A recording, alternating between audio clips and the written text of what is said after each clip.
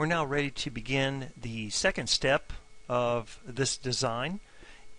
The first thing that I'm going to mention is if you hold your control key down and use your right mouse button, you can zoom in or zoom out of the model. And let's go ahead and zoom in a little bit.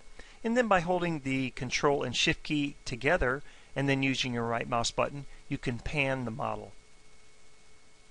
Now you also have viewing commands down here on the bottom right of the screen if you want to use those. Quickly go to the Sketch tab and what we want to do is we want to make sure that you turn on your relationship handles just by clicking on that relationship handle command and then go back to the Home tab. What we want to do is go ahead and create a cutout in this design and by doing so we'll just come up and identify the line command.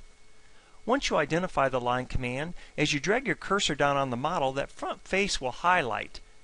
And what we want to do is lock to that face. You'll notice the lock uh, up here. I can click that or I can hit the F3 key. I'm just going to go up and click the lock which locks us to the face and also adds that uh, lock symbol on the screen letting us know that we're locked to that face.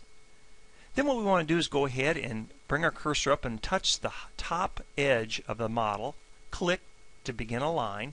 And you'll notice as we get horizontal or vertical, it gives us a glyph next to our cursor. So make sure you're in a vertical mode and just pull that down about 25 millimeters, somewhere close.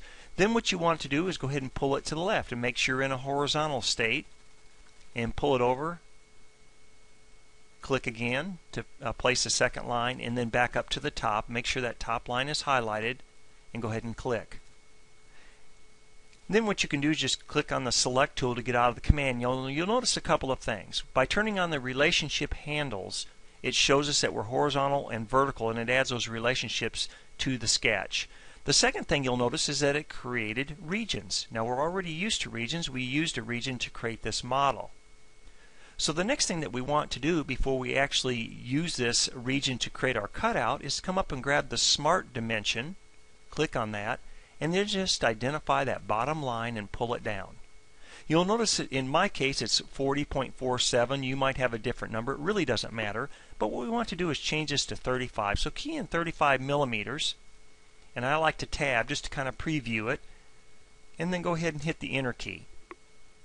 Now I'm going to grab the select tool again just by clicking on select and identify the region, the center region. Now you'll notice our grab and go tool pops up again. Again, you'll notice the uh, similarity in the ribbon bar. Make sure that symmetric in this case is turned off and then grab the grab and go tool. If you pull out, it's going to add geometry. If you push through, it's going to remove geometry. So it's real simple. We'll go ahead and click to remove that center geometry. Now you'll notice that the sketch dimension becomes an intelligent 3D PMI dimension in synchronous technology. At this point we're done with step two so go ahead and save the file and then just make sure that your students are caught up to this point before continuing to step three.